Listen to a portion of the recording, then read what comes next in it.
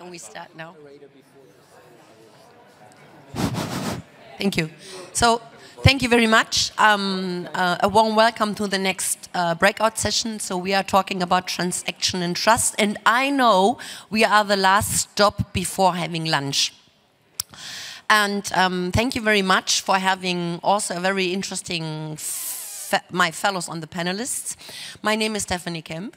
Uh, I'm a non-exec on the advisory board for the ECO Association, the Internet Economy in Germany and I have the pleasure to moderate a very interesting session. And we would like to have it a bit more on the fly a change because uh, one of my colleagues here on stage, Mr. Engels from BASF, is not joining us. And that's the reason why we do not have really someone gives us an input. I would like to do a brief framing on our session.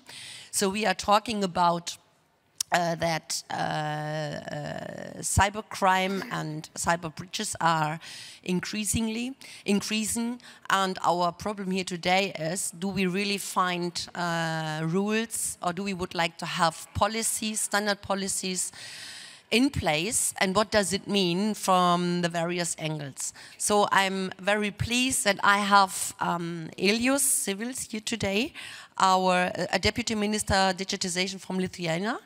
Then, thank you. Um, unexpected, Mark is again here. Uh, Mark is representing the insurance company Ergo, yeah, is my understanding. The next one is Maximilian Tayenthal. Uh, Maximilian, thank you. Then I have Gertrude Levin on stage. Gertrude will give us a bit more an overview of best practices here today. Then I have Thomas Rosteck on stage. And I have uh, Christian Mihr here. And finally, uh, today uh, on the fly, I had the change of Mr. Shen Yi from China. So uh, up front the panel, we decided that everyone will have a very short introduction of himself or herself and just give me um, a small uh, frame of what is your touch point to this topic. And I would like to start here on my left side, Mr. Shen Yi, if you would like to start with it. Uh, surprising and uh, come here. I think it's, the, my, it's my first time to be the IGF. And I'm coming from the universities, uh, serve as kind of uh, research on these cybersecurity things. My background is information and uh, international relations. So I'd like to talk about these things in the background or the framework of international series. In the series of these international relations, we talk about norms, mechanisms a lot this kind of norms and mechanisms, the main functions is to regulate the different actors' behaviors to make their behaviors more predictable, more stable, and finally lead to a uh, kind of consistent, stable cooperations among different actors. And the second, I think such kind of norms, of course, is very important to the cyberspace, especially in today's world in today's world, just like Professor Joseph Nye mentioned, that these ICT revolutions happen in an environment which we don't have enough trust among the main actors, which means the state actors. While simultaneously, it's very interesting to find out the development of ICT and the cyberspace depend heavily on whether these actors can have enough trust and cooperation with each other. So it's kind of very interesting paradox games. On one side, these, these actors, they compete the computer to have more influence, to enjoy more advantages. On the other side, all these actors, their behaviors must be limited into some certain margins, which means that during these competitions, you should not completely destroy all these cyberspace. Yes, if you unilaterally enjoy these advantages too much, you destroy the basic trust, no global cyberspace and no these games, and then with no internet. So it's very interesting games. And during the third, during these procedures, norms very important. Such kind of norms, I think there's three very important characteristics. First, equities. Second, systematic. Thirdly, balanced. It should be very important to notice last not least, these kind of norms should only serve these minority or unilateral actors' uh, profits. It must meet the uh, benefits for the actors as much as possible. Thank you very much. Thank you. Um, Christian, um, from the Reporters Without Borders, may I can just ask a question on what are the relevant cyber breaches you see here today? The relevant what? What are the relevant cyber breaches you see ah. today?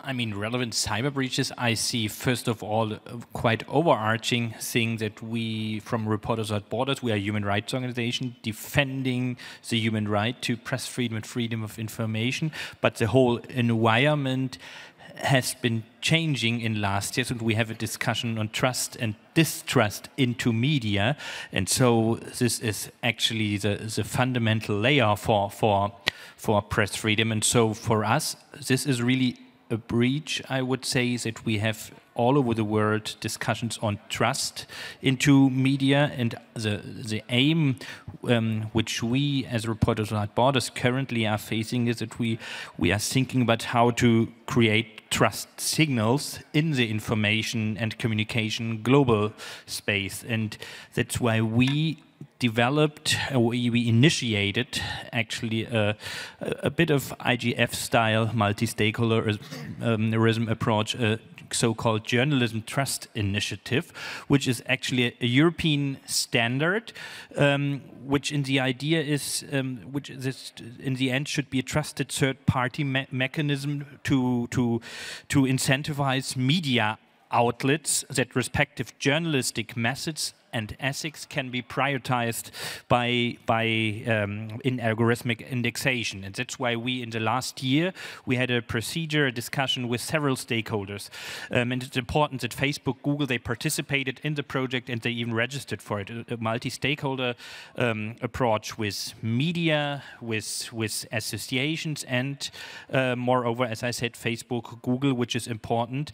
And we aim that actually this um, prioritization in the algorithmic indexation in the end will lead to some more trust if people can identify better some ethics and principles. But what is important, um, we don't have the aim to judge any content. Um, it's just about ethics and principles because we as a human rights organization, we are not defending any content. And so the question of trust is for us really a major uh, uh, uh distrust. Actually, the growing distrust is a major breach. Thank you very much.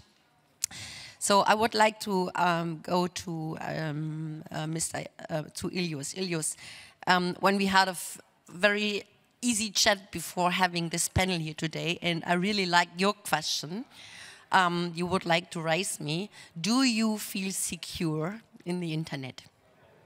Well, um, I think this is a relevant question for all of us. Um, me personally, I feel secure, but uh, if I think of uh, my main stakeholders, like my grandmother or my mother or my kids, I don't think they feel uh, very much secure, and this is because of this mystification about this cyber security, cyber crime, and everyone talking, you know, about the digital skills. So the problem is that um, on one hand, we are like in the government we are focused very much on the digital enabled services. So in Lithuania, we have 86% uh, of all the citizens and 90 something percent of all the enterprises that engage with government through the digital channels only. So in other words, everyone is uh, talking to us digitally, but then not everyone is having enough understanding what's happening in the digital space.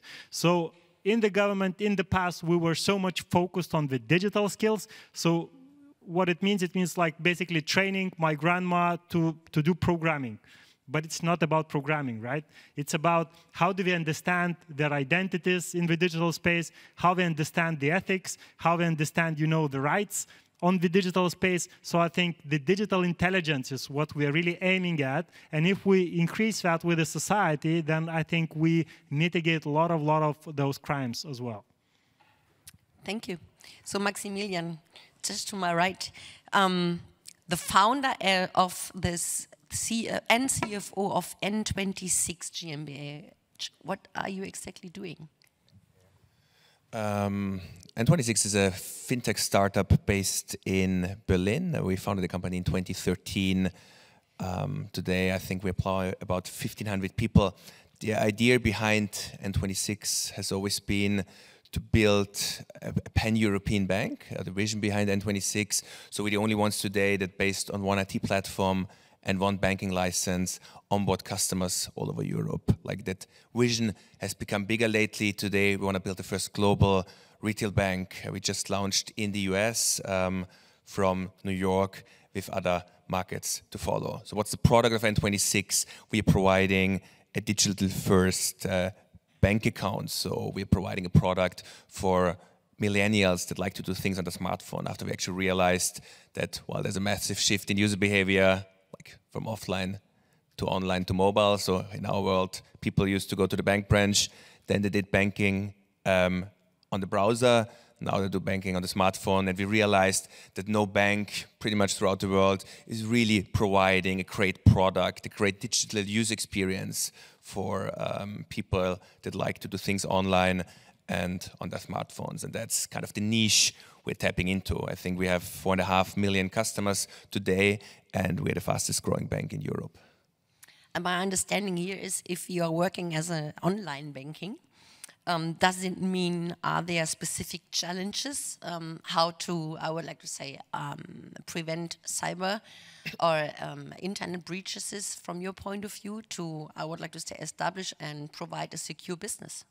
Yeah, absolutely. Um, like we obviously like in a business, and there we are not different to, to other banks, where we're dealing with the most private data of the customer, and we're dealing um, with the customer's money. So security, keeping this data private, and keeping the money safe is um, an intrinsic part of the business. Like if you lose data, if you lose money, you can just go home and do something else. I think also in terms, and there was a lot of thought about that, like at N26, um, we're not really advertising with security because uh, I think one, it's not a, a, place where you can really differentiate yourself from other banks. I think traditionally, like, like also banks, there's no way to claim that um, the money at a traditional bank is less safe than at N26. But obviously, like for customer, trust is a very important part of the metric. And how do you generate trust?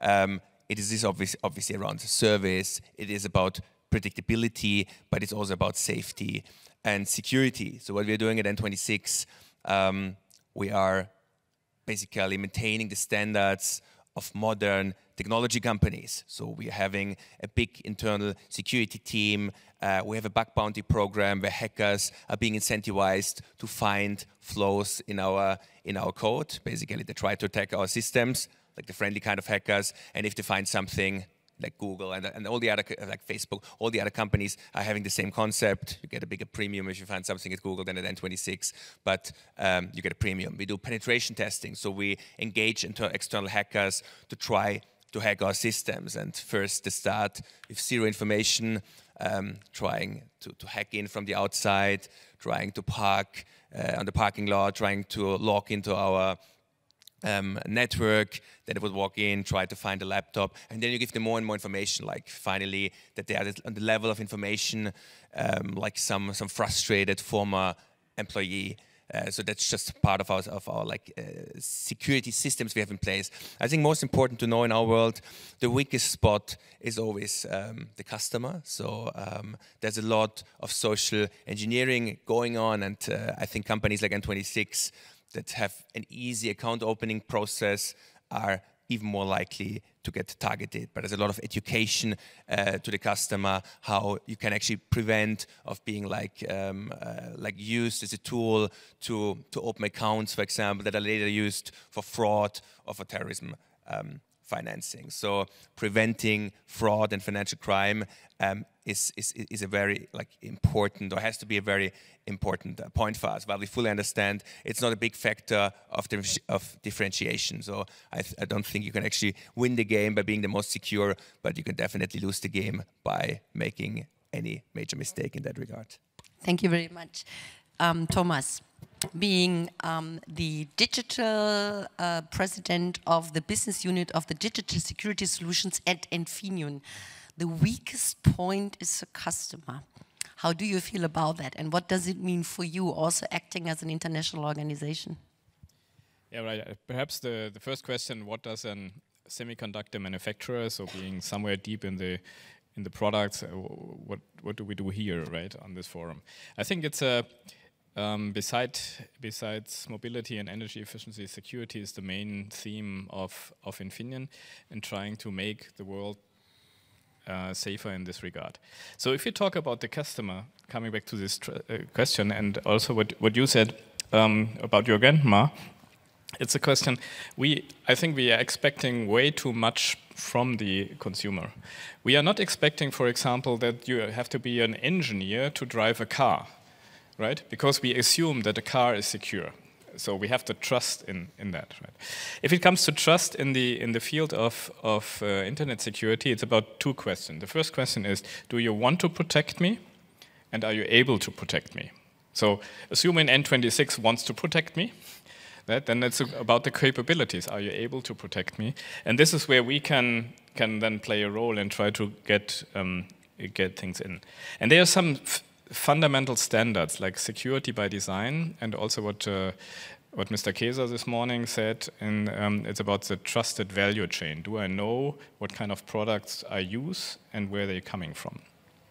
So you see, it get, it's get a bit of a different different angle to to other um, other statements here. Um, but it's about it's about what is the foundation of um, of of what we do. So today we already do that. So we trust devices. You trust devices. So for example, every second credit card you have in your pocket has a chip from us. So you trust us already. If you are traveling with with a with a passport, you are trusting us already. And it's about it's about this this root of trust and this anchor of trust. I think that we have have to work on. And uh, I think it was already touched today, which I deem very important, is the question of, um, of standardization. Right? We need, we need standards for security also around the world, and we need one standard preferably, not 25, because then, then, it's, then it's not gonna, gonna work. And I think from that perspective, this, these are things that we are driving uh, heavily on. Um, and uh, yeah, I think that's what, what our role is in this game. Thank you. So I'm a bit confused because the door is open and it's a bit crowding. Can you please close the door so for as long we have the panel?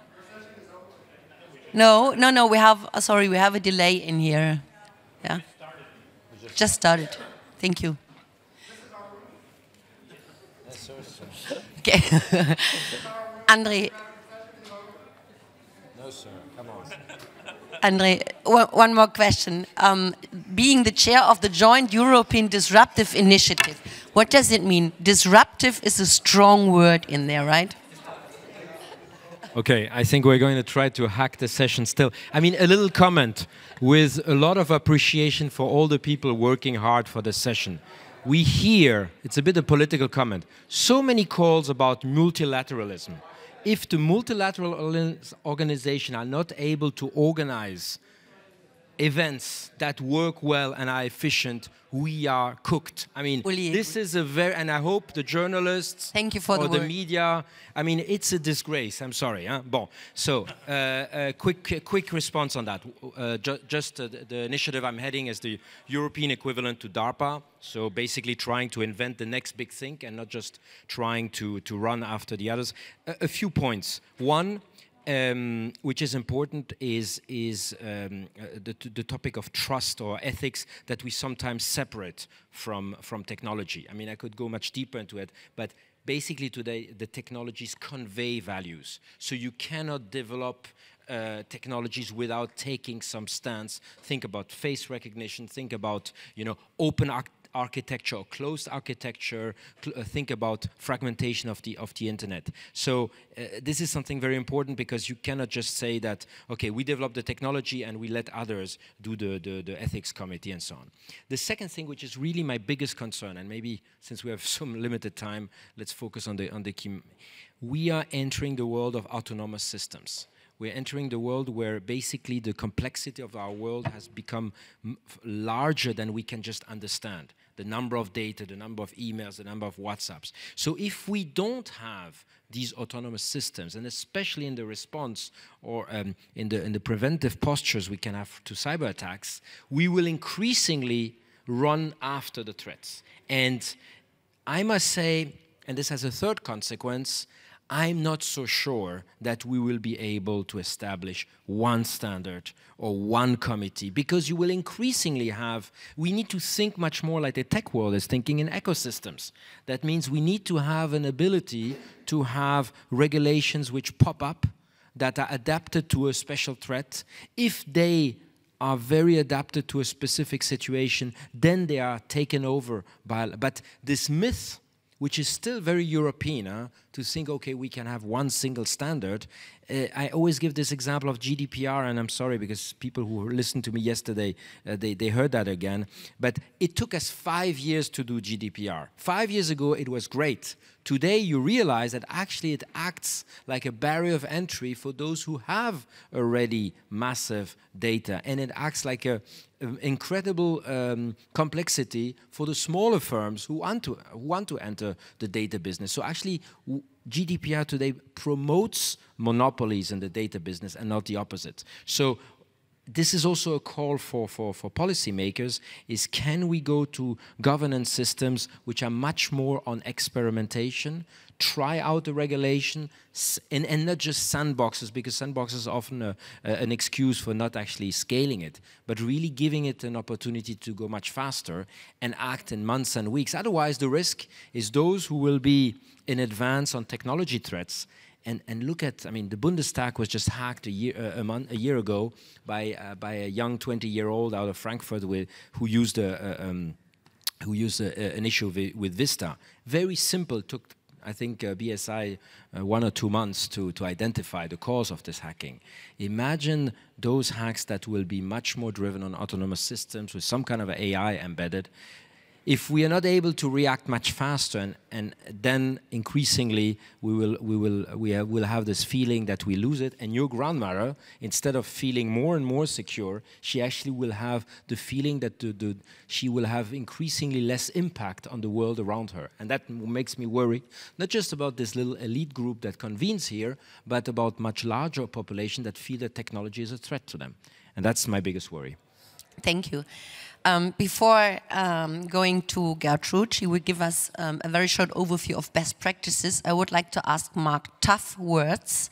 We are not able to implement any kind of norms, I would like to say internationally or European wide, as Andre mentioned. What do you think about from the ergo perspective as a CDO? Yeah, very good question. First of all, let me just say one thing about the cyber risks that we see in the market.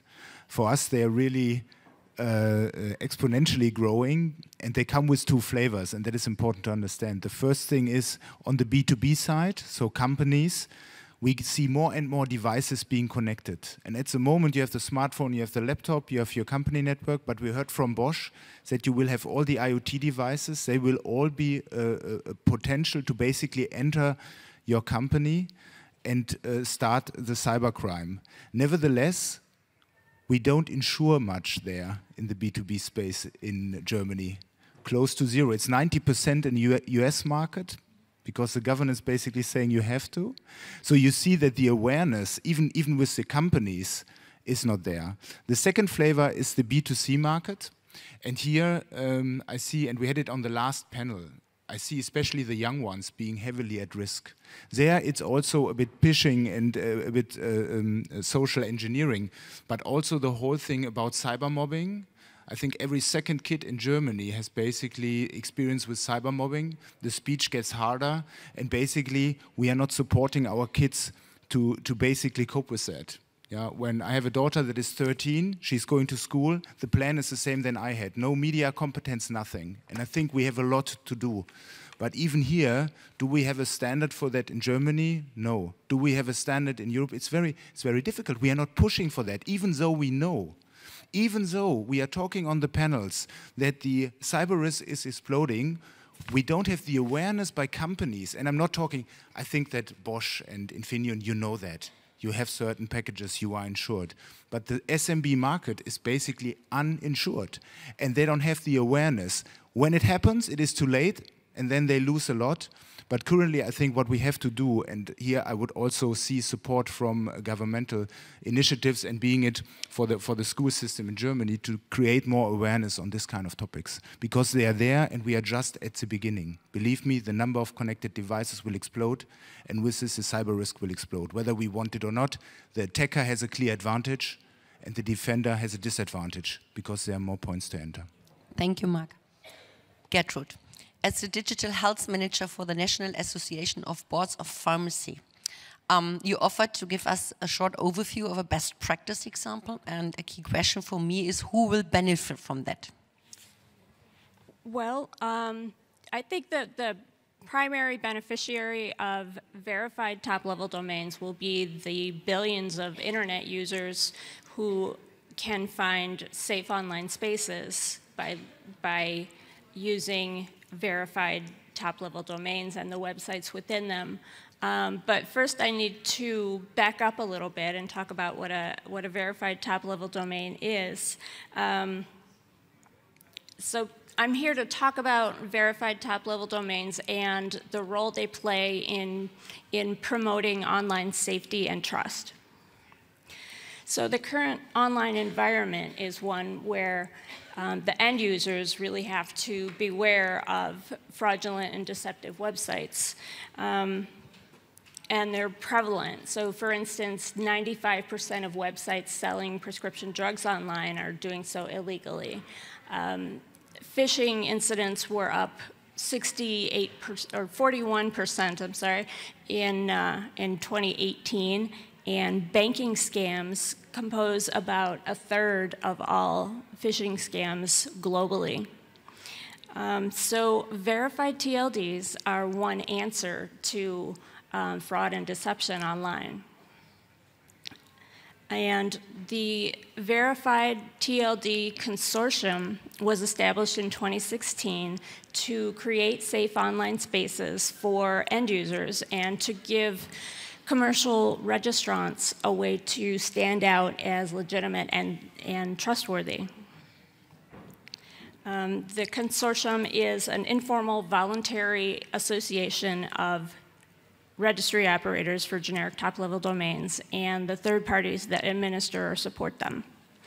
Its mission is to enhance public trust and online safety and e-commerce by promoting the value of TLDs and raising awareness about TLDs as trusted channels for products, services, and communications online, and that's specifically verified TLDs. Um, members of the consortium require certain safeguards, um, and those include pre-verification of registrants before they're able to use a domain name, um, for instance, uh, registry operators will verify um, who, verify that the registrant is who they say they are and that they have the proper credentials to register a domain within that TLD. Um, members of the consortium also require that registrants within the TLD adhere to standards. Um, as defined in the registration policies. For instance, that might include appropriate credentials and so forth. Um, verified top-level domains also engage in online monitoring to ensure continued compliance with registration policies and continued eligibility. And should, the, should it should it be the case that a domain ceases to be in compliance with these standards, verified TLDs maintain the um, autonomy to take back the name. Um, do I have time to present a couple of use cases? Sure. Okay. Go ahead. Um, well, dot pharmacy is one such use case. It is um, operated by the National Association of Boards of Pharmacy, and um, it requires an application to uh, first establish eligibility to register a domain within that top level domain. Um, it requires compliance with with uh, pharmacy laws in the jurisdiction where it's based, as well as where its customers live. Um, in the process um, of, uh, of this verification, it creates a safe online space for consumers to rest assured that the medications or information or services that they're obtaining online are authentic and safe. Another use case is FTLD, which is the registry operator for .bank and .insurance. Um, these are also verified TLDs, and um, they require that, um, that registrants be pre-verified to ensure that they are um, registered or chartered with the appropriate governmental regulatory authority. Um, so in that case, they are providing an online space for um, companies and their customers uh, where, that are, that's more secure and reliable. Um, so operating a, TL, a, verified TLD does not come without a cost. Um, verification is very resource intensive. Um, because verified TLDs tend to serve niche markets, verification registration volume tends to be a, tends to be lower than it would be in, in uh, registries that are completely open to anyone. Um, and not all registrars work with verified top-level domains, but the members of the Verified Top-Level Domains Consortium um, feel that those costs are outweighed by the benefits. And um, those benefits include, um, well, the fact that costs can be offset by higher fees. Um, verified TLDs are gaining recognition within their respective communities. And abuse is practically unheard of in a verified TLD. And perhaps most importantly, um, they promote safety, reliability, and trust online. Thank you. Thank you very much, Gertrud. so we heard um, some emotional statements here. Time is now. We, need, we are in a rush. Do we really get control of all these things? And I would like to, due to our timing and our lunch, which is waiting for us outside, a final question. Very easy, very short. Listen, we are, we are all waiting outside. You Do you strongly believe? Can you please not so unpolite because we are in the middle of our session? No, we are losing our audience. This is not fair to our session. We started to bring people all over the world. It's really, Unbelievable. really inconsiderate. So final question is, um, if you would like to, if you would like to say, are we really able to implement standard norms, international wise, and do you and what would be the time frame? You, what is your best guess behind? Um, the, sim the simplest answer is yes, and the time frame is not that hard to determine. But in the coming three or five years, we have to set up such kind of norms. Otherwise, the development technologies will push forward. Thank you. Yes, I strongly believe so. Um, working for a human rights organization and believing in human rights, and I think um, a long time ago we agreed on something like the, the International Declaration on Human Rights, and given actually the, the, the, media change, the change with, with the digitalization all over the world, currently it's our task to transform this human rights into the standard um, of human rights um, into the digital world, but we try to do so, and I think there are best practices, and, they, and the Internet Governance Forum is still, and I'm string, you can criticize IGF um, uh, strongly, but I still believe that the IGF is a unique opportunity, unique platform to, to agree on standards, which in the end will lead to concrete policy making. But a final word, a final word, there's always the risk that standards are misunderstood as over-regulation in terms of turning authoritarian, controlling. But I think sometimes um, trust, um, I think standards lead to accountability, and I think that's what what um, what's about.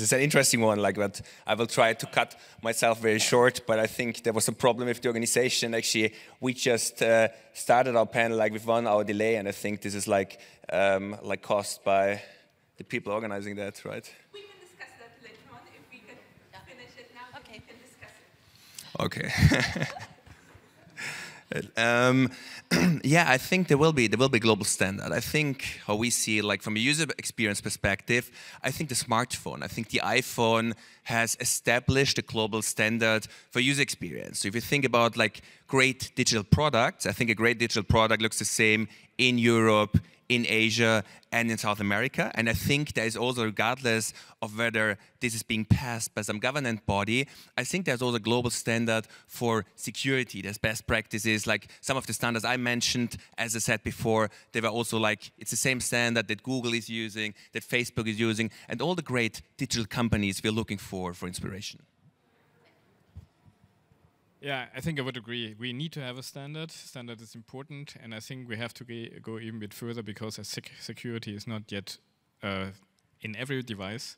We have to also think about where we need regulation to really enforce um, that security is used wherever necessary. This is very kind of you, Gertrude. One, one word on standards. I think yes, we need we need actually strategy. And I give an example. There was in the briefing the topic on deep fakes. Right now, the only ones, and to build on what uh, uh, you just said on, on uh, from, from N26, uh, when today Facebook uh, is regulating content, probably the 10 or 20 curators or the top line guys at Facebook have more regulatory power than the 750 members of European Parliament. When I see that, that the only ones who are working on deepfakes right now is Facebook again, who is launching a challenge, I, as a citizen in a democratic country, does not want to delegate this regulatory power. So it's absolutely critical that we get our acts together from a civil society point of view. It's not to be anti-Facebook, but if we are not as quick and as snappy as them, de facto they will set standards. I very much hope it's possible. I'm a bit skeptical because I see currently the trends going into a different direction. Anyways, I expect for the bright future very soon. Thank you. Thank you very much.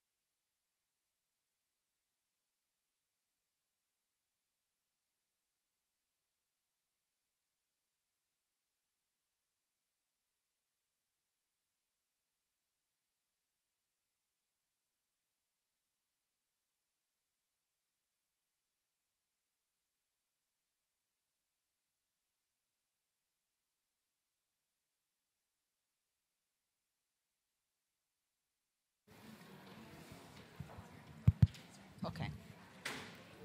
So hello, welcome everybody to this uh, to this symposium. We finally made it. We conquered our room, and we're going to start right away and be fast, swift, and efficient. So, in the in, in order to do this, rather than giving myself to you a long introduction. I just won't do that and give the word to these three gentlemen who are the best people to introduce you to exactly what we want to do here and, uh, and why it is uh, our efforts are important. So uh, the first person I'm going to give the floor to is Ricardo Corredor, who is the president of the Global Forum for Media Development. Ricardo. Thank you so much. Uh, I guess we have to be brief. Um, so I'll be brief. Um, welcome. Uh, for us, this is a very important uh, moment uh, because we have been, we, as GFMD, we engaged in this space since 2017 with many of our members, some of whom here present. Um, I just, it might be obvious, but nevertheless, it is important to, to state that this relationship between journalism and digital technology is very much at the core of things happening today. Uh, and this is why we believe it is important to be here and to engage with this agenda. It is a very complex agenda, and what we've seen is that in general terms, journalism and journalism associations and media associations are absent. So that's why we thought this space was important. And this is why we're here. And this is why we have to take this opportunity to discuss what are the main issues and the priorities. So welcome. Let's try to make the best of it in this half an hour that they stole from us. uh, uh, and uh, we'll continue. And now we, we, will, see, we will hear from uh, Mark Nelson, who is the Senior Director of the Center for International Media Assistance at the National Endowment for Democracy. Yeah, I just want to say that I'm really delighted we're finally in the room and that uh, this is the beginning of a really important conversation. And we're really glad all, all of you are here because I think we can take this opportunity for, of us coming together to really develop a voice in this space because that's what this is about. It's about having the people in the news media, especially news media from small uh, parts of the world, small news media that are working all, all across the world, having a voice in this global agenda. And it's really important for us to come together and to think about what it is we are trying to achieve and to develop a work plan that, is, uh, that serves our interests as, um, um, as news and information uh, providers across the world. And we really want to have that kind of voice in the proceedings in, in, for the future of a working global internet. Gregor Barrier, who is part of the policy and concept department at Deutsche Welle Academy. Hello, a warm welcome also um, on behalf of DW Academy. We are very happy to be here.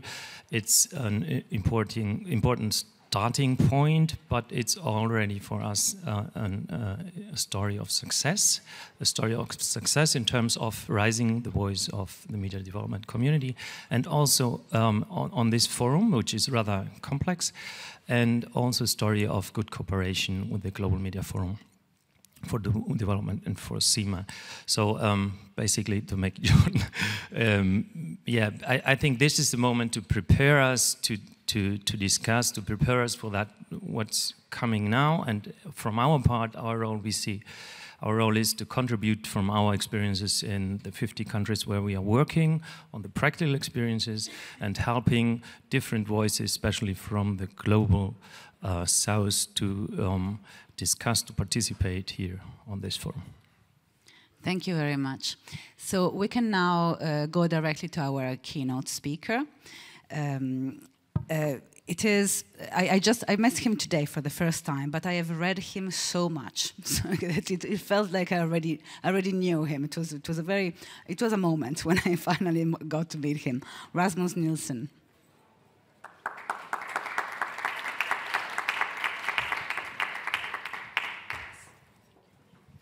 So Rasmus is uh, the director of the Reuters Institute for the Study of Journalism.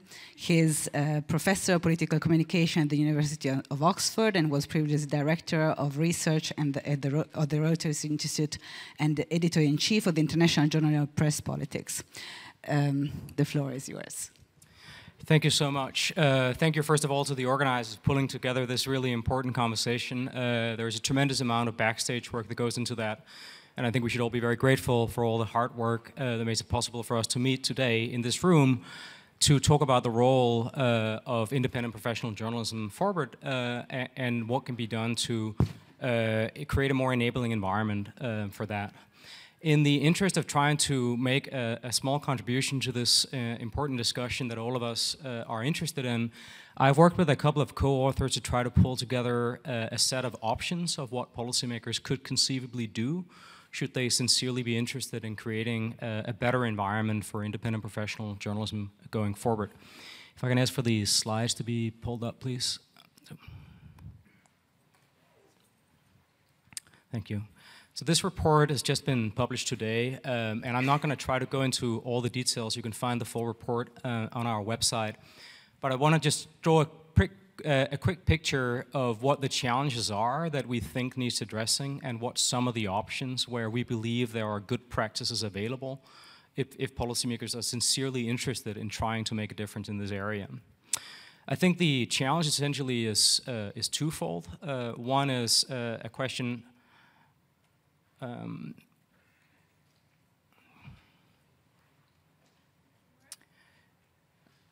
this is going to be a teamwork. Um, thank you in advance for um, letting yourself be volunteered to help advance my slides. If I can just say next and then we move, is that okay?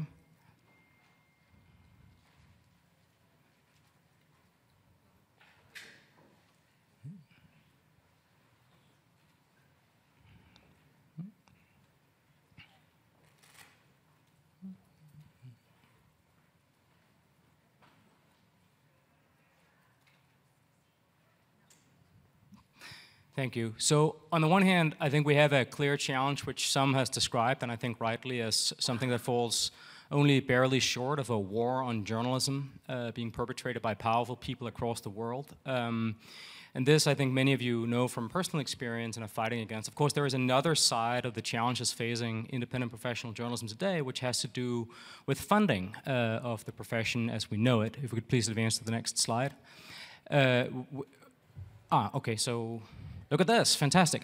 Um, where on the one hand we have the very long-term and inexorable one-way decline of the legacy business models, which in some countries by now has been in decline for more than half a century, in print, for example, in the United States but also, of course, in a digital environment where the advertising money and consumer spend is increasingly moving, the emergence of relatively new and dominant uh, uh, uh, actors that capture a very large share of the advertising market.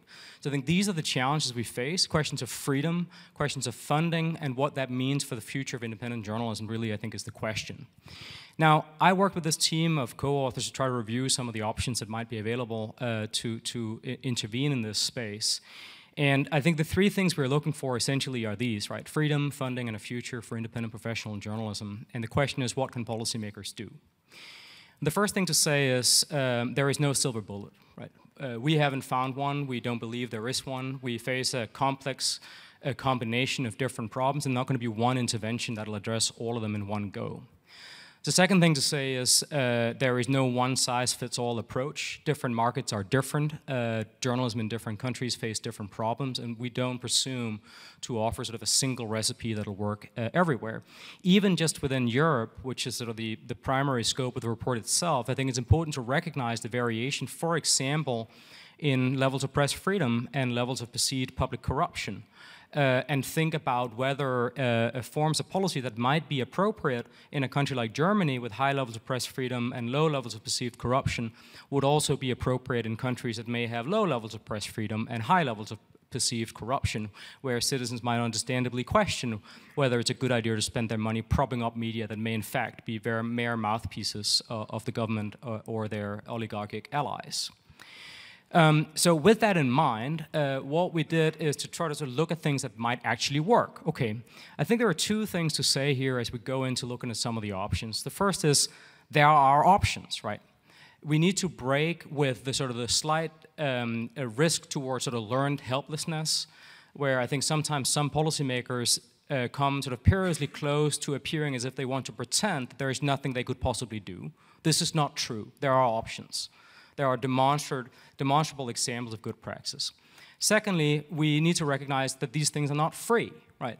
Um, and, and there is a question of money too, but I think here we need to just sort of think about what the backdrop is here, which is within Europe alone, just again to use that example, the annual budget of the European Commission is more than 100, sorry, the European Union is more than 160 billion euros a year, and the combined public expenditure of the, of the EU member states is more than 7 trillion dollar, uh, uh, euros, right? So there is money, it's a question of decisions, basically. Okay, the three areas that we looked at, and we'll just highlight a few of the things that strike us as potentially most promising in each of these areas. Um, freedom first, right? These things come in order of priority. Without freedom, funding in the future doesn't really make much of a difference from the point of view of what it is we're trying to uh, ensure that journalism can do for societies. The first thing to say on freedom is that there is a clear implementation gap between the things that policymakers have committed to in writing and what they're actually doing in practice in many countries around the world. This, of course, needs to be addressed. Uh, within the European Union, there is an opportunity to put some pressure behind that uh, desire to close the implementation gap if the proposed rule of law review was tied to access to European Union funds. So that we actually actual consequences if member states did not in fact live up to the commitments they have made in the treaty and in wider international human rights law. And the third observation we would make in this space is to say when we think about more contemporary and future challenges around things like disinformation, I think it's really important we stress that any intervention in those spaces needs to be within the framework of international human rights law. And the current tendency of sort of somebody must do something about bad people doing bad things online is not really a functioning framework and one that can lead to quite a lot of dangers for abuse. And, and, and I think already some examples of this happening around the world. The second area is funding, right? Uh, we want journalism not only to be independent but also be professional. Uh, professional work is not vocational, is not avocational work. People want to be paid, uh, and we need uh, institutions that are financially sustainable. What might be done in that area? Uh, we already, of course, support uh, the news organizations that invest in, in, in journalism through various forms of VAT exemptions and the like. And I think the first thing to be done is to ensure that these forms of support reflect the digital media reality we're in. So in many countries, VAT exemptions exist only for printed newspapers, for example, not for digital subscriptions. This is rewarding the past at the expense of the future. There are also countries like Denmark, where I'm from originally, that demonstrate that one can, in fact, provide direct support, as said, in free societies with low levels of public corruption, direct support for independent private sector news media to invest in, public, uh, in, in, in professional journalism. Secondly, of course, we have public service media in Europe, a proud tradition, imperfect with some limitations in some member states. But again, I think we need to recognize if policymakers are serious about this area, genuinely independent public service media can make a difference. This is a model that exists, and it is one that is open to policymakers should they desire to pursue it. Finally, of course, we have the area of nonprofit journalism of increasing importance around the world, but one that's really constrained by charity laws that often don't recognize journalism as a nonprofit cause, and thus it's very difficult to create nonprofit media and to support nonprofit media. Again, this is a solvable problem. I turn third to the question of the future um, where I think the first thing to say is it's, it's good to see that competition authorities around the world are thinking about what their role is going forward and thinking about the importance of ensuring that all actors compete on a level playing field in a digital marketplace for advertising, for consumer spend, and other resources. Secondly, I think it's clear we face a set of challenges that impact journalism too, which is about the opacity of the online environment and if we want journalism to succeed long term, I think journalism too will benefit if policymakers ensure that we have a more accountable, intelligible, and transparent platform mediated environment where, for example, we have various forms of multi stakeholder oversight, as suggested by Article 19 and others, more investment in media literacy, and access to data for independent research by civil society organizations and academics so we can better understand the media environment that we all rely on. And finally, of course, again, there are models of how uh, governments and other public authorities can invest money in journalistic innovation in ways that do not interfere with editorial independence. These models exist, and if governments are serious about supporting uh, the development of journalism, they should consider whether they in fact want to deploy these tools. So this is where I'll end. Uh, none of this will be easy. None of this will be cheap. But I think we really need to recognize this is possible, and something needs to be done if we want journalism to succeed going forward. And here I think really just we need to again sort of confront the question of whether there is perhaps sometimes a slightly a risk of a degree of something approximating hypocrisy among some policymakers who pretend that there are no tools available, nothing they could possibly do, where in fact there are examples of what could be done. And I think we should judge their sincerity to their commitment, uh, of their commitment to independent professional journalism on the basis of whether they actually do something. With that, thank you very much. Thank you. Thank you, Rasmus. So we, we are going to make a little time for questions, if there are any. Does anybody want to ask a question to Rasmus? Yes. Um, in February, we were in a meeting, some of us were here in a meeting in, in Bellagio. And it was a very interesting meeting uh, because we were trying to think about these issues in a broader sense, not only digital, but in a broader sense. And I came out of that meeting uh, and I said to my colleagues, this is like, uh, I've never been so sad and so happy at the same time. Um, because for me, the conclusion is, as you said, at this moment, really, there is no one that knows what's the future, what's going to happen. Really, at this moment, there's no one that can say, this is where, where we're going to. And at the same time, so this is bad. But at the same time, it was a sort of relief in the sense that we are all very stressed out because we all want to find out what's going to be the key solution. And there isn't. So, but the, the, the issue is okay, so we have this kind of like battleground and where there is, but instead of two armies, there's like a thousand armies. And there are huge ones, like the big platforms, and there are small organizations and medium sized organizations. So the thing is, to me, and I don't know how you fit this in what you were thinking, is how, to level the field when there are like so many actors at the same time, what it brings is the discussion of what's, you know, the, the democratic ways of doing this conversation. And this is where I see the most complicated thing because what we're seeing in the world is that we're not very sure how democratic we can be in terms of bringing up these discussions. So I was wondering if you can maybe have a thought on this because this has to do a, li a little bit of leveling the market field, but it also has to do with politics and this also to do with many different complex things. And, and, and, and I think complex is, is it's, it's a key word in this discussion. Great. I mean, I, I, think that's exactly right. And on, on some days, I feel a bit like you describe your experience of, of attending that workshop. Um, uh, I would say that on closer inspection, I think sometimes if we start breaking down the problems we face in many parts of the world, they are significant, but perhaps not quite as overwhelming as we may feel on first sight. And I think it's important to recognize the difference between the very severe and almost insurmountable problems that journalists face in some parts of the world, where I think we can only all collectively sort of admire the tenacity and sort of heroism, really, with which people insist on sort of carrying on in, in ways I think are a reminder that journalism, even without the privileges we've had historically in the Western world, is incredibly important and powerful even without the sort of the large muscular organizations and the trappings and whatnot of, of, we associate with professional journalism in some part of the world.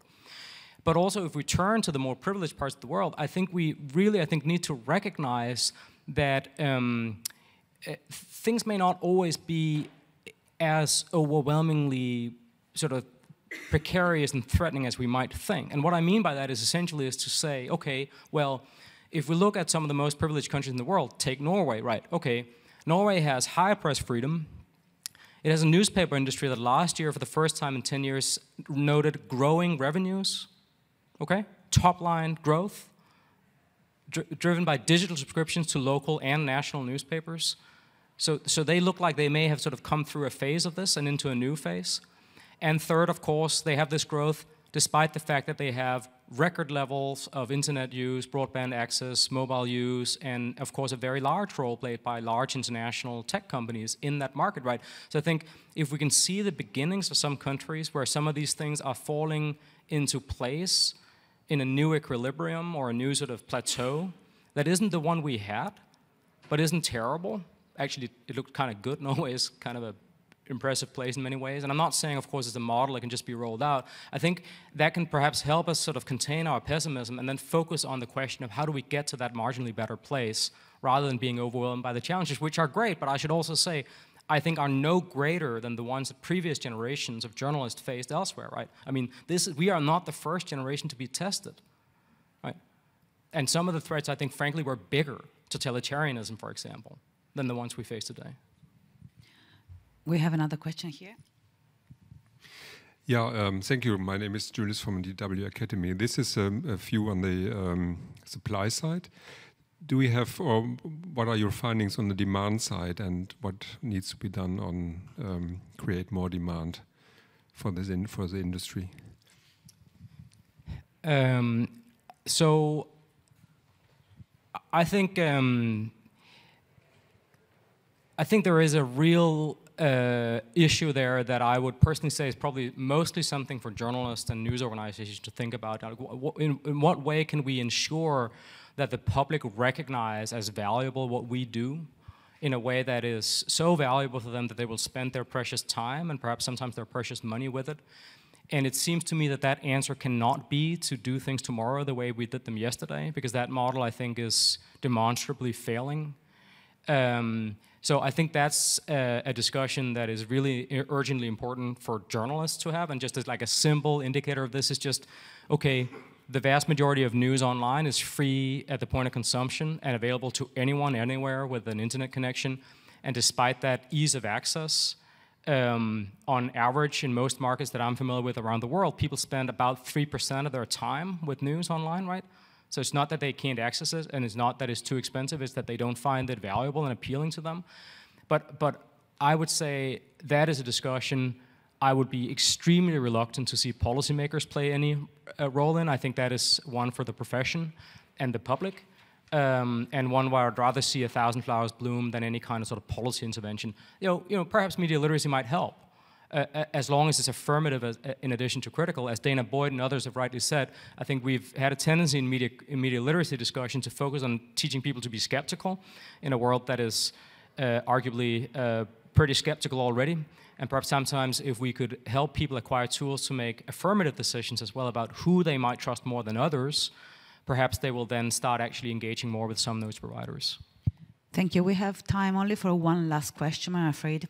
Could we have a question from a woman, maybe? There's been a lot of men speaking. Uh, sorry to be interventionist yes. about this. Thank you. Sorry. I, am happy to talk afterwards, but thank you. We'll take two questions, if that's okay. Okay. Um, thanks. What do you think is the realistic uh, possibility that the EU would link somehow its funding and support to these governments with actual implementation? What's the and what can we do to um, support that idea? I think that's a stretch, probably, to be perfectly honest. Um, but I think there is a, um, a moment now where it might be possible to at least stretch for it. Um, I think the um, most important thing to do is probably to keep the spotlight on major politicians from large uh, member states and ensure that if there ever are weak moments where they may be pragmatically tempted to opt for the expediency of saying one thing and doing something else, that this is sort of pointed out as loudly as possible to their constituencies at home. So if, for example, one were to argue for the need for a new push for European democracy, um, then perhaps it's quite important to closely scrutinize what kinds of deals might be made with member state governments who do not seem to share the desire for such a push. Um, and similarly, of course, of various candidates for, for top posts. I think it's really quite important to um, uh, just uh, shine the light of publicity on whether politicians are in fact uh, uh, saying what they uh, mean and, and meaning what they say. So, regarding the funds that you said, they're clearly available. Some of those funds, some of that budget comes from fines, often quite substantial, that are levied based on uh, reporting by media. Have you heard, I assume you have, uh, of the idea of creating a fund of some sort that uses these funds to funnel the money back into the media to, to support the media, media um, community. What do you think about that idea? Thanks. I think there are a lot of things to very quickly unpack there because I think this is a really important idea it seems to me we're in a situation where you can make a very compelling case that there is a market failure or a risk of market failure that creates a justification for some form of publicly mandated funding to underwrite prof independent professional journalism with arm's length. The question then is where is that money going to come from? Um, personally, I have a lot of uh, patience for economists who argue that any kind of hypothecated taxes that are premised on the business success or potentially failure of individual companies or a, a particular sector. And I should add, a sector that is under very intense regulatory scrutiny right now and where some companies might face a lot of headwinds in the near future.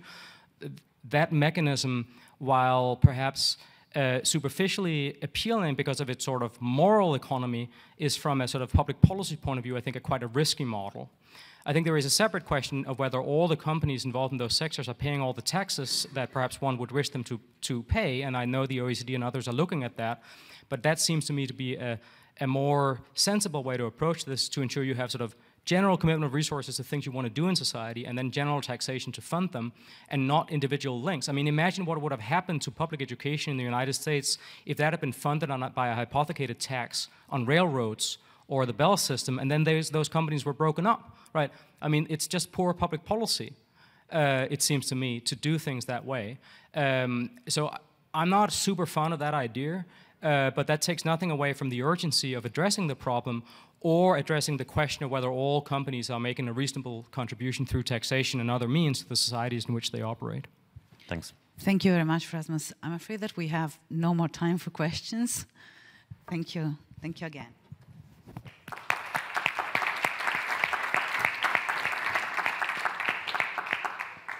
We're now going to welcome on the stage our next three speakers who will present us with case studies. So I'm going to call first Juliet Nanfuka from uh, Uganda.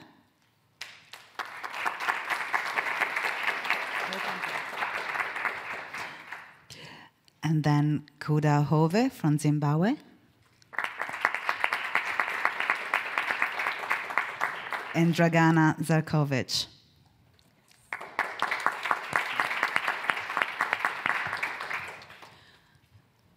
Again, in a spirit to reduce introductions as much as possible, I will let you guys introduce yourself. Would you like to start and give us your case study? Thank you. Okay, let's get one of the mics. Great. Good afternoon, everyone.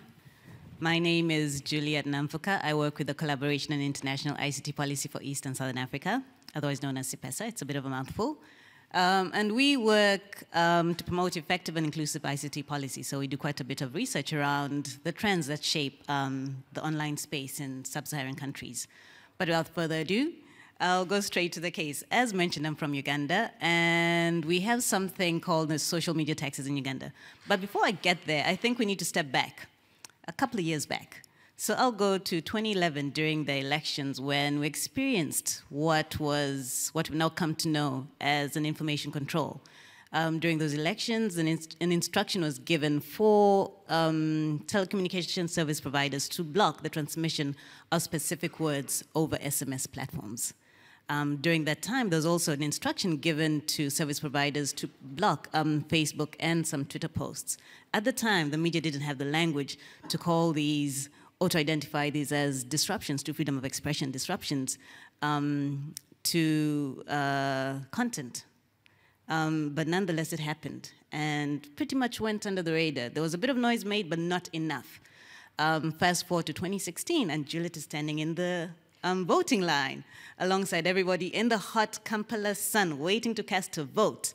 And suddenly, our phones stop working. Everybody's knocking on their phones. What's going on? What is going on? Social media had been disrupted. But not only social media, so had mobile money transactions. Um, again, the instruction had come from the state, um, and the idea was, or rather the instruction was to protect national security at such a critical time um, in the national, in the country's uh, um, political narrative. Then this time round, there's a bit more noise made because more people were online um, more people felt a whole lot more affected. More people were beginning to speak the language of, digi of digital rights, including the media, because a lot of the media were referring to, or they were using um, online spaces to share information, to source information, but alas, they could not do that to the same extent that they'd been doing it previously. So there we see a stronger pushback, or rather, stronger narrative coming out about social media, rather about um, online um, content controls. But still, not enough. Uh, fast forward to 2018, just last year, when suddenly, um, upon, the, upon a directive by the president to curb uh, gossip, but on the other hand, the financial ministry was saying that uh, the social media tax rather was introduced to um, increase the tax base. We saw, yes, of course, the introduction of a social media tax of 200 shillings per day of access to platforms such as WhatsApp, Facebook, Twitter, LinkedIn, and various uh, VPN sites. Among others, I keep adding on sites that uh, blocked. Um, but this time, there's a shift in the narrative. There's a whole lot more interest by the media and citizens around the discussion around of um, access to the internet, access to the online spaces, ac access to local content. Um, which has essentially there's been a shift, a growing interest in what is happening online and the capacity to share and access information online. But this time around, it hit a whole lot harder because of the financial implication. Suddenly, people's pockets have been affected, and of course, a whole lot more will make noise. Um, so we have people affected at a personal level, but also media houses. Who is consuming their content? How is content being shared if people are not on WhatsApp to carry forward um, content? So there, there was a change in the type of narrative around the taxes. Um, but also there was a shift in the type of content now journalists could access. Many were referring, or some rather, referred to sources via those very social networks. But if the taxes it had led well, essentially, the taxes did lead to a drop in the number of people accessing the uh, internet. We dropped from, we dropped down to 30, 37% um, internet access. That's a loss of 5 million people at the time when the taxes were introduced, which is a massive number. These are people primarily in the urban areas and some in the rural settings. But what the social media taxes also did is push in basic internet connectivity even further away for many, many citizens in the country, primarily, primarily women, youth, and persons with disabilities, all of whom have unique content that the media relies on, the media uses to source information and to back up or validate stories. So there we have an entire audience pushed out, put, pushed further away from um, the online um, space. But in addition to that, we also have a loss in the, in the production of local content, a loss in the production of content, uh, or rather sharing of content, which is more meaningful to people outside of the traditional or mainstream media space. Even though we may not call it news, it is news for someone outside of that um, mainstream space. So that is something that also took place in Uganda's case. Um, yes, so each, each time that we've seen a shift in, or rather an, introdu an introduction in some form of regulation of online content, thank you. Thank you. Um, we've seen an increase in media interest, but is it enough? I don't believe it is, because even to date, we do not see enough media coverage of the cases um, that were pre presented against um, the social media shutdowns, the various network disruptions that we've had. It's still not enough. So we still have a gap in the media interest on digital rights, which is why we also see this space or rather discussions taking place, the media interest perhaps is not where it should be, even in countries where it is very blatant and with increasing um, regulations coming up almost at a daily basis. There's a whole lot more lined up. And with elections coming up in 2021, now more than, more than ever is a time that we need to see a whole lot more media questioning coming out. Um, in anticipation, what is yet to come? Are we going to see more shutdowns? How do we work around it? Are VPNs enough? Will those be blocked? So that's the kind of narrative that we'd like to see a whole lot more taking place um, in countries such as Uganda, where information controls have been present for quite some time, and we've been reacting to them about, as opposed to being proactive around them. Um, I think I will put, I think that's, that's well, I'll, I'll stop for now. I'll, I'll add that even when the state had come up and made very large announcements about the financial gains that the state was going to have with the introduction of the taxes, those taxes, or rather those gains have not been met. Um, instead, we, see more, we saw more people pushed out and not enough local content being distributed, um, and a bit of a knock to some of the media houses, which have attempted to recover, but not enough.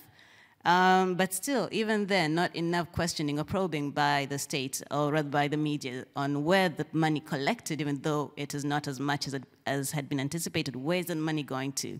How is it servicing the communities, the underrepresented, those without access?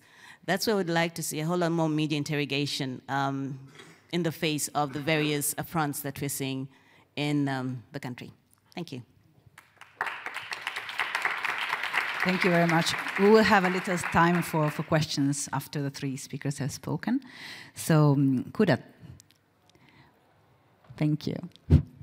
Um, good afternoon, everyone. Um, my name is Kuda Hove. I'm with the Media Institute of Southern Africa, Zimbabwe chapter. Um, MISA has a presence in, currently we've got a presence in four countries across Southern Africa. Zimbabwe, um, Zambia, Malawi, and Zambia, Malawi, and Tanzania. Thank you. um, yeah, so I basically lead uh, MISA Zimbabwe's digital work and legal work, uh, digital policy work and legal work. And that's it for introduction. And my talk is briefly looking at how these four countries are now using or using the advancement of technology in their countries as a way to have new life in their agenda to chill and restrict, restrict free, free expression.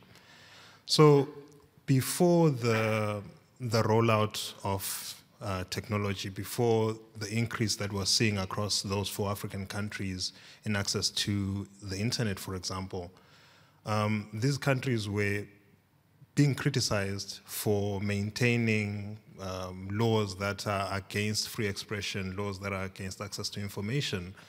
And most of the criminal law codes included blatant violations such as criminalizing of defamation, which is normally a civil law issue. So you'd have a criminal law code having something like criminal defamation, and uh, criminal insult in the laws. So that was a way to obviously restrict free speech. And as the years rolled by, as we came out uh, into the 2000s, mid 2000s, we saw a drop in those laws from the national statutes because people were taking cases to court, they were challenging them, and countries didn't have any reason to hold on to those laws anymore. But then, with the emergence of social media, countries are now getting a fresh breath or a fresh angle to attack free expression. And how does this look in real life? It looks like this. Uh, so in Zimbabwe, every time government wants to do something, there's someone who always leaks information out to a friend, a relative, or something. So, for example, we had a new series of banknotes that were coming out. And someone shared images of these banknotes with members of the public. They ended up on Twitter, they ended up everywhere. They ended up on, on WhatsApp. And government came out, the central bank came out, and they said, well, these are lies. We're not even working on this, you know, like, why would we even bother? And it was condemned and dismissed as a social media rumor. Six to nine months later, indeed, a new series of notes came out, and they were very identif identi uh, identical to the ones that were shared a few months ago on social media. So every time something like that happens, government is quick to say that social media abuse. No one has ever bothered to define what social media abuse really is or really entails. And it's government simply using its old tactics to have a broad, vague term that is very intentional in its harms but it's very hard to understand. So you, at, at every time that you are sending a tweet that involves criticizing government, you're not really sure whether you are breaching this unidentified um, and unwritten law of socially uh, abusing social media. But that's what government is now using. And it's the same with uh, Zambia, it's the same with Malawi. In Zambia, the Minister of Transport and Communication went as far as saying, well, Zambians are abusing social media so much so that they would actually ban Facebook, Google, and Twitter from Zambia. I don't, he never went into how he would ban them, but again, we see them pointing out to this really vague concept of social media abuse. And every time in Zimbabwe that um, that's been said, it's always been a government representative, and it's always different government representatives at different times. So we've got members of the military coming in and saying, Zimbabwe really needs to work on its cybercrime laws because people are abusing social media. Um, we've got, we've got um, the central bank governor, we've got people from the president's office. And in 2017, under the previous regime of the previous government, They even went as far as introducing a Ministry of Cybersecurity and Threat uh, Identification and Mitigation. And when they were asked, what exactly will this new ministry do that isn't already being done by the Minister of ICT, the spokesperson simply said, well, we look to China, Korea, and Russia for inspiration, and it's something that we really need to do because, quote unquote, people are being naughty on social media. So, if we're really not careful in um, the participation of the formulation of these online laws or regulation of the online activities, we'll go back to a situation where we find ourselves battling laws that broadly um, restrict free expression and broadly ex uh, restrict access to information. So this trend, um, as we discuss um, online regulation, Zimbabwe, Zambia, and Malawi have taught us as an organization to be on the lookout for the resurfacing or restructuring of anti-free expression laws that are now coming back as a way to regulate social media. I would say that's my talk in brief, and I'm open to engagements during the question time. Thank you. Thank you very much.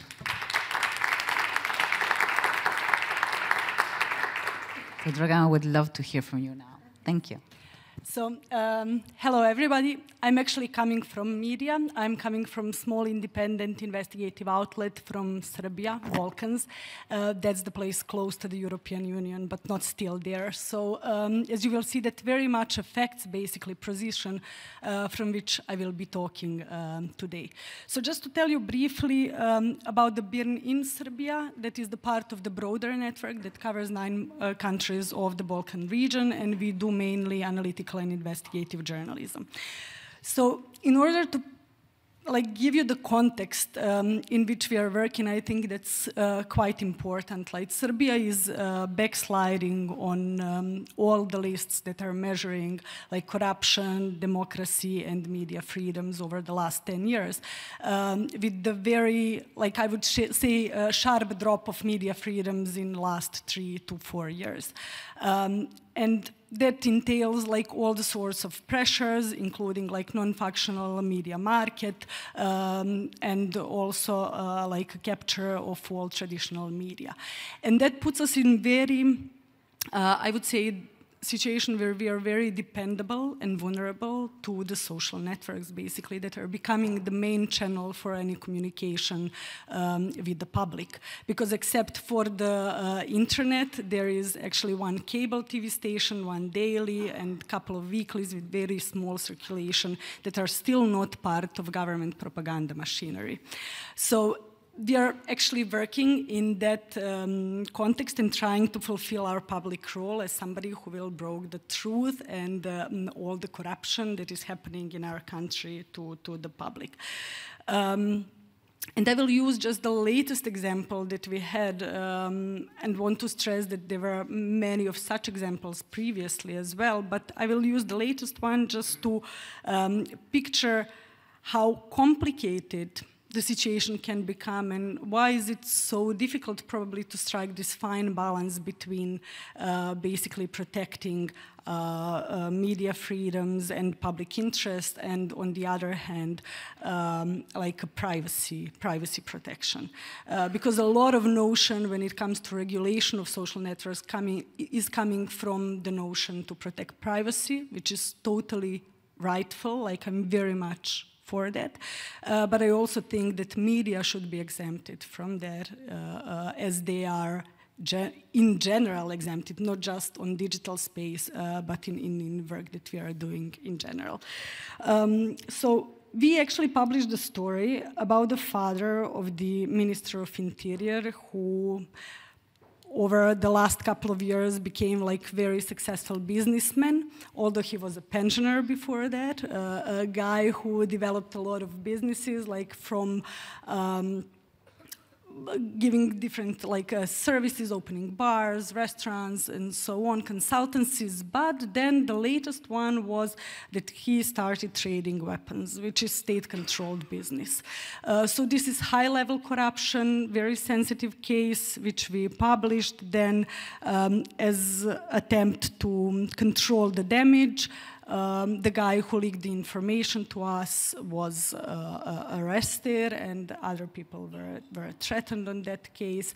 Um, but also, like uh, a best man of interior minister was started giving phone calls to the people that were involved with his father, uh, trying basically to pay them for silence. And these people contacted us, and we got these records and published the article. And with the article, we also published the video.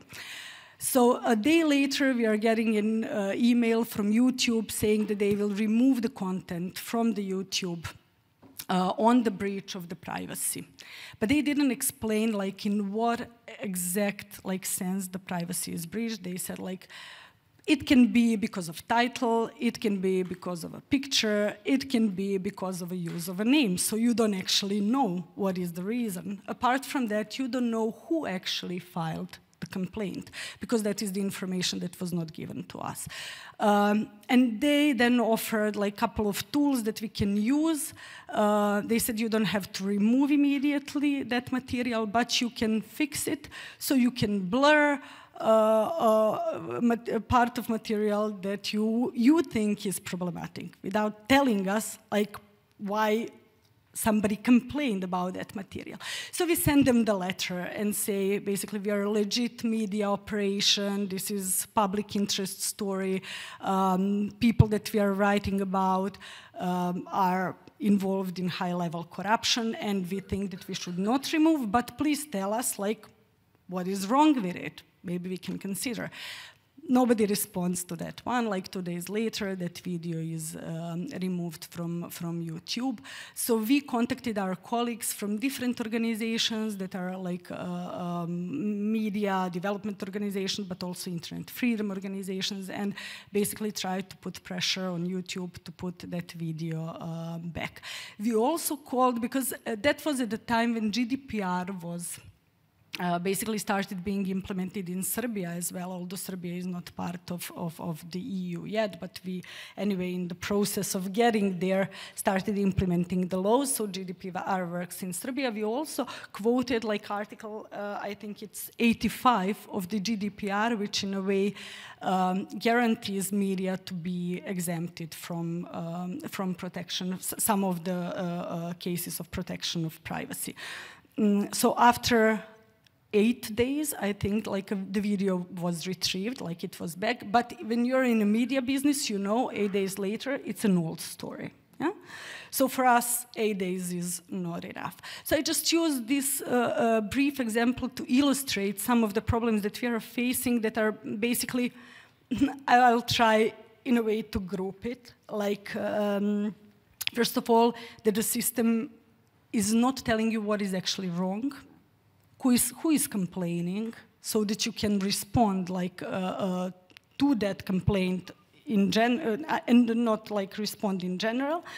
Um, then the issue that basically social networks are are more inclined, I would say, to respond to such a claims in order to protect themselves than to go into the situation of communicating with some small media outlet from Serbia uh, who is right in that case. Uh, which brings us to another problem, and that is that Serbia like, is a small market. Um, it is small, I would say, language, small market, not big enough so that social networks are having their representatives there. So that communication is very, like I would say, slow um, and, and inefficient. And it also puts like public interest media in situation that we are in a constant fight with our governments because they have all machinery that is backing them. Like they have public servants that are working during work hours as, as their bots and trolls like influencing public space, filing complaints about the media, uh, reporting us to social networks know, uh, uh, so that our content is, is banned. So that means that like a couple of us, I lead a team of eight people are fighting like the entire machinery um, that works on a budget uh, and that is blocking that is blocking our content. Um, but this case also gives us some ideas like how can we go forward, and I think it's important to stress like what helped in this particular case um, was the networking. So we had a contact with organizations that are in touch with social networks, that are sitting in forums like this and have developed like communication lines. Uh, so being in touch with them, I think, I, I personally think helped our case uh, that we could get that, that content back.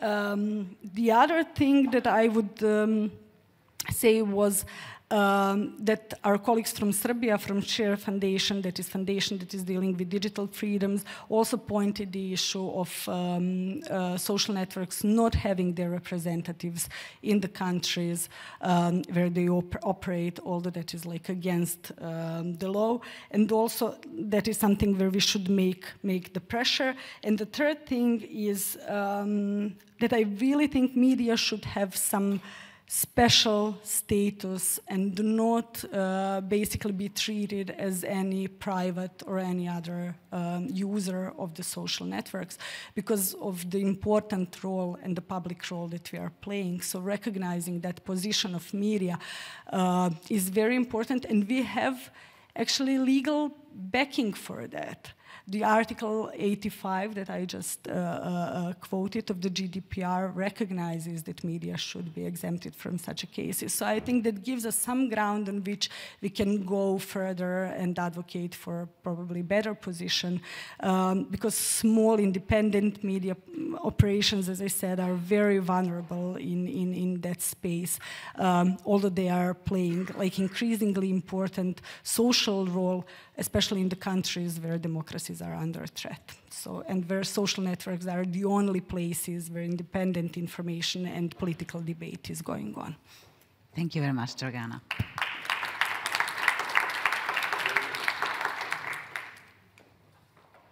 So we have a little time for questions. Okay.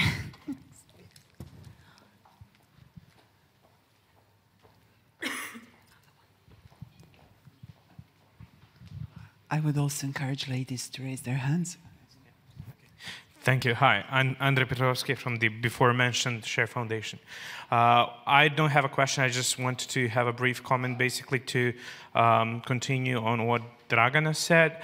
Um, yeah, media definitely have a special place in society and special function, meaning that the necessity for having some sort of a special treatment is is visible. But in the past few years, I can say now that we have more often and often issues with um, platforms, with uh, big companies like Facebook, Google, etc., and many organizations and many individuals, even public figures, often approach us with having problems like content taken down or uh, their accounts being um, disabled for some reason. You mentioned the, the reporting. That, that is quite a common practice, not only in Serbia and the Western Balkans, but all around the globe. So my two cents into this discussion here would be, what is the approach in contacting these platforms because we as an organization do have some sort of a channel which is sometimes efficient sometimes it's not but we need a more systematic and more stable approach to uh, engage them into talking to us and into listening to uh, these types of problems before, because sometimes uh, eight to 10 days for a video, for, for a news piece that's highly relevant at the moment is it's more than its lifetime. Uh, in that particular case, and this is my last sentence, uh, what I, because I was really frustrated when that happened and I talked to Tanya, who I don't know, maybe she's here somewhere.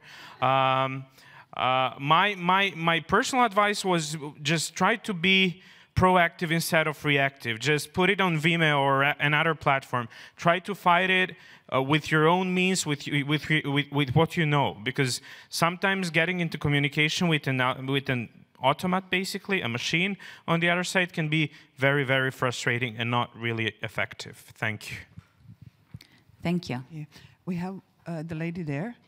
Um, there. Okay, and then here. And then gentleman here and the lady here. So, hello everyone. Uh, my name is Mariana Gomez. I come from Brazil, and I like to uh, ask you some questions. Um, to Professor Julia, I'd like to know, in your view, what are the priorities in, a, in creating a policy of digital rights in Uganda and for the other two participants.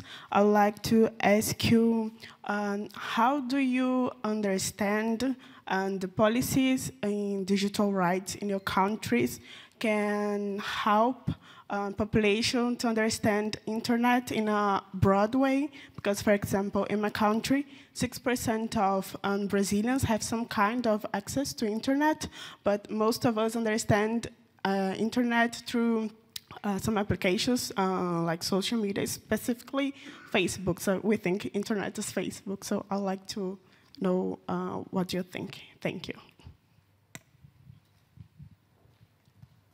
Shall we take uh, two more questions and then go back to, to the speakers?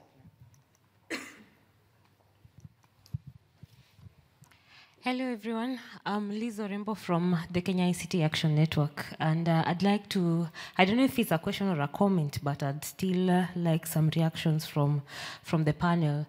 Now, uh, we've been engaging with the the policymakers on especially digital taxation, which also touches on uh, social media and access to the internet. Now, rightly so, our governments are saying that our, our budget is increasing, and also we've uh, borrowed so much money, especially from China, and we need to pay that debt. So that means that we, we have to increase our tax net. Yet, the business models, uh, the trends of business models are going to digital. That means that the regulator or uh, the taxman cannot see what people are doing, and uh, therefore they can't tax uh, these sorts of business that are disappearing online. So, in short, if you are if you had a shop selling something, you would only need a small space or even your house, and then you just uh, you just advertise online, and you'll have people uh, ask, uh, asking you for what you're selling. So that means very many businesses going this way, and uh, you you can understand them because. Um, it means they, they spend very little and they don't have to register. So for the government, it means that the tax net is decreasing. And uh, it's going to the platforms because people are advertising on uh, Instagram, on Facebook, and whatever uh, big platforms, platforms that there are. For the government, since they don't have anything or uh, they don't have the visibility and uh, the technical uh, enforce, enforcement capabilities, they are going to increase the tax to the end user. So that means internet is going to be more expensive to, to the end user. Yet, money is going to these other big companies. So when you ask Facebook, Facebook will tell you that we don't, they don't get much revenue from Africa and uh, they'll be less cooperative. Yet, even if we don't give them much revenue, as they claim so, we give them eyeballs for them to for them to uh, for them to advertise their content. So I'd really like a reaction on how we can we can diplomatically approach this so that companies are more responsible to governments because at the end of the day is the end user. These costs are being transferred to the end user. Thank you. Um, I have a question to Juliet. Um, I'm Lena from DW Academy. Um, so, what do you think should, or what was the reaction of media organizations as stakeholders in the debate around the social media tax? So, were they part of the advocacy or policy efforts? Or what do you think should should the strategy be in these situations? So should there will be like uh, just reporting or advocacy, or should they be active in, in the debate?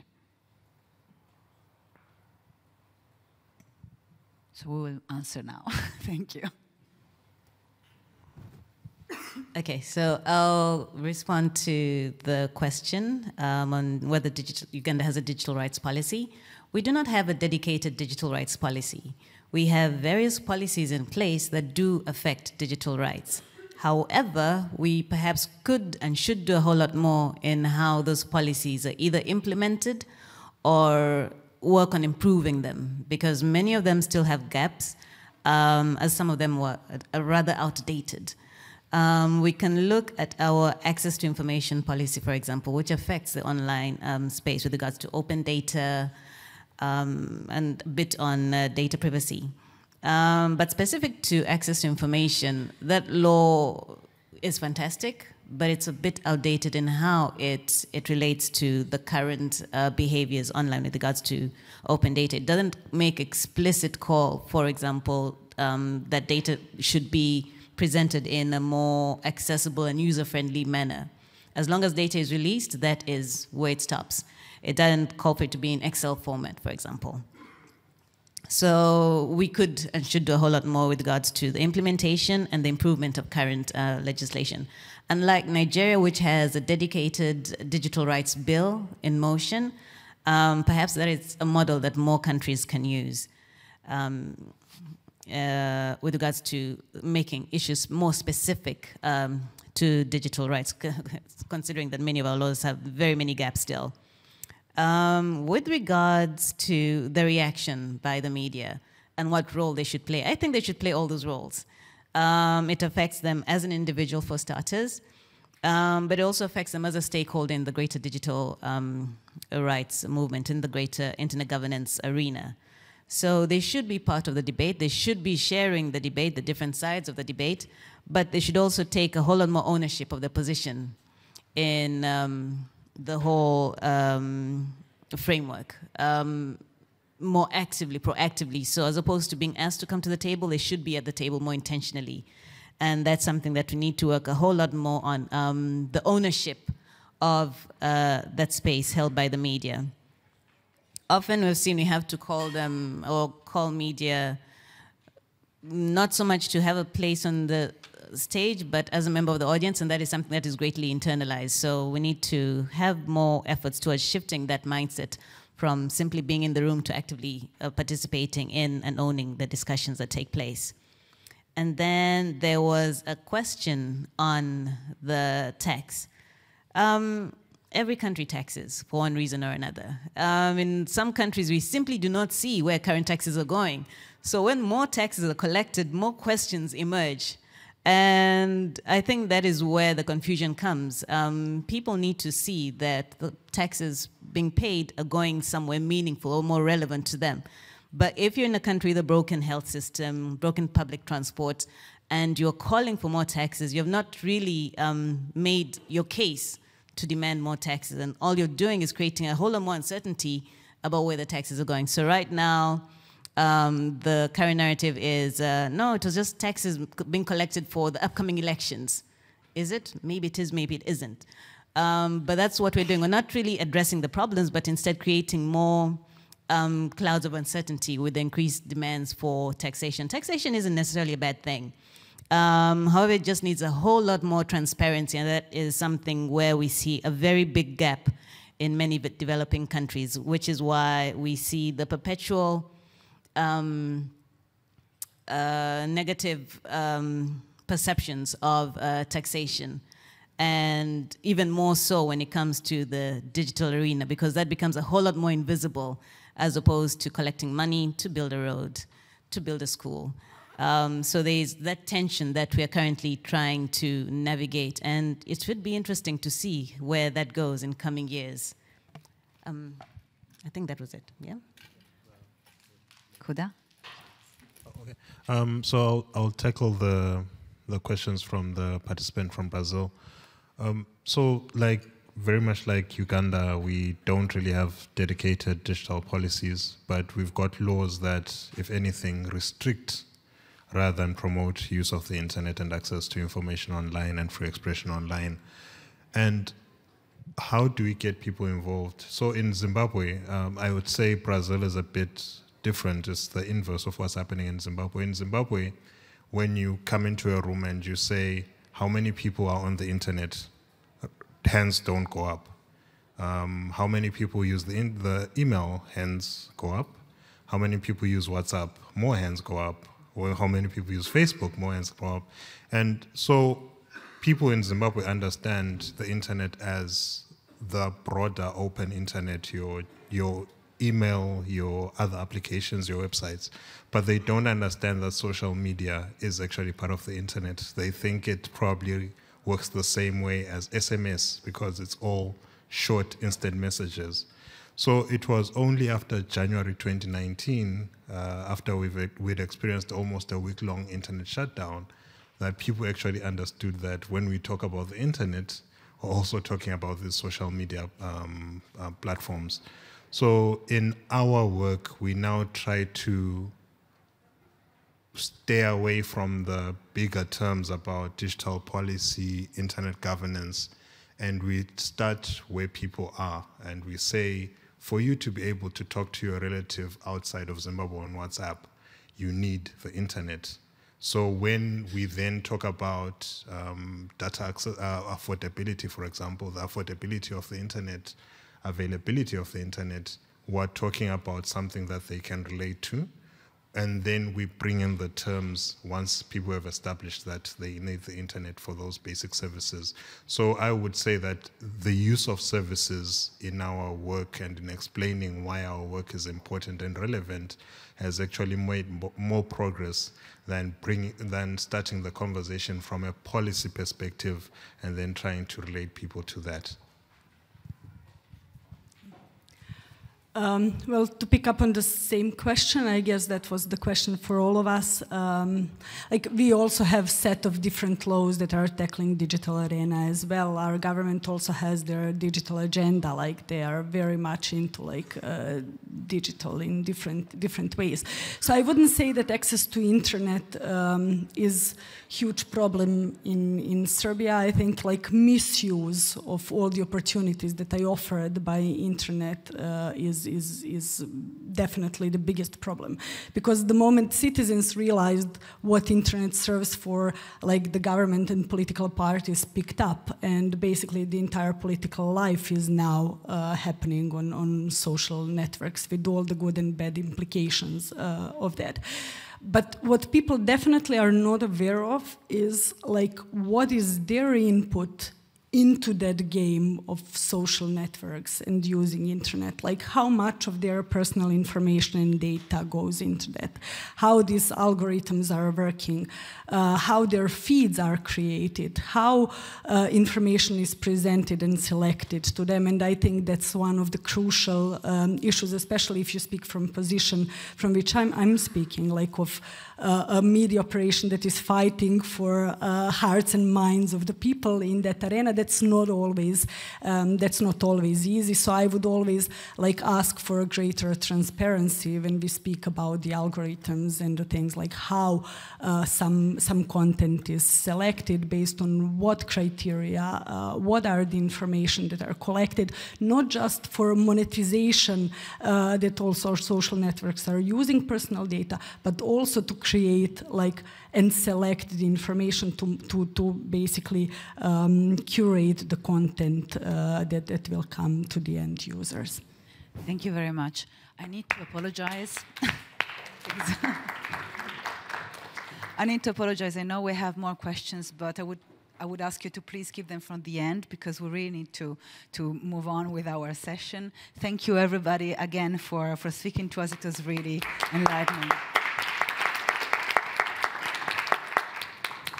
So we're now going uh, to um, an interactive section of this session, thanks to our shepherd through, through this part of our event, who is uh, Daniel O'Maley. He is the deputy editor of CIMA.